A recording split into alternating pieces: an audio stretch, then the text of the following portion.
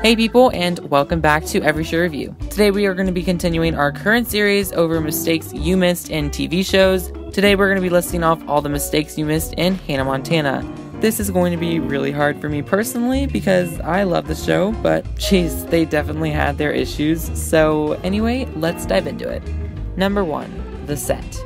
Okay, it's Disney, so obviously they didn't really care that much about how realistic the set looked especially since back then the quality was so bad, but the beach set was just so unrealistic. I mean, every time there's a scene on the beach, the background is so fake. First off, the waves never move, and second off, they never even show the other side of the beach. Like, it's a huge beach, and we only get to see, like, maybe a tenth of it. Like, why just spend all of your time in one area? Number two, The Secret.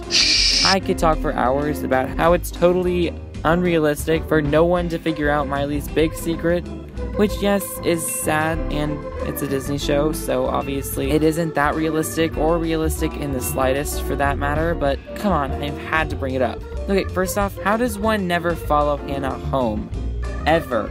I mean, the paparazzi followed her home like once, but they never did any investigating at all, I guess, because they just ignored the fact that there's a girl that lives in that home that looks exactly like Hannah and lives there with her dad, which leads me to the dad.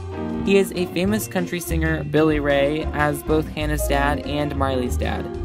Right there's a huge plot hole, and if Hannah was so famous, I am pretty sure someone could do just a bit of investigating and they would find out that it was her. If she's such a big pop star, I can't believe no one figured out that she's missing for like three fourths of the day, but okay. Number three, plot holes. There are little things in the movie in particular. Remember at the end where Miley sings The Climb to the whole audience? She announces that it's a new song that she just finished writing, yet moments later, the audience begins to sing along, knowing all of the words, of course. Also, she revealed herself to thousands of people, and not one soul tells the rest of the world who she is. I mean, I'm all for believing in the good of people, but that's just insanity. Someone would have said something. Number 4 set mistakes. The show also had a lot of visible production errors. For example, when Hannah and Lily walk into Rob Reiner's office, a light is reflected on Hannah's large black sunglasses. These are the studio lights they use on Disney Channel sets. In the episode, The Way We Almost Weren't, at the end of the episode, when Lily and Oliver are lying on the floor, glued to chairs, you can pretty easily see the black strips on their backs attaching them to the chairs. In another episode, when Robbie Ray walks out on the porch where Jackson is grunting, working out, the reflections of the camera and a couple of crew members, one wearing a white shirt that is pretty visible on the glass door behind Jackson. And in another episode, Would I Lie to You, while on her train for the class trip in Washington, just as Miley stands up before she elbows Oliver in the chest, a boom mic can be visible on the top right of the screen before it pulls out of the shot.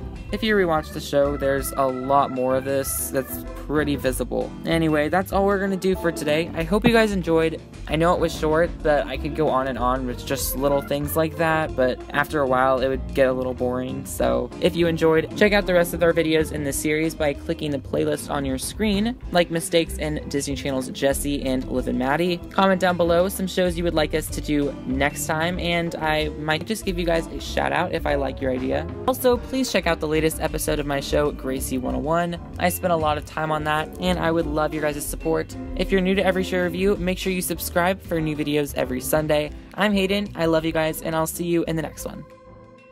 Bye, guys.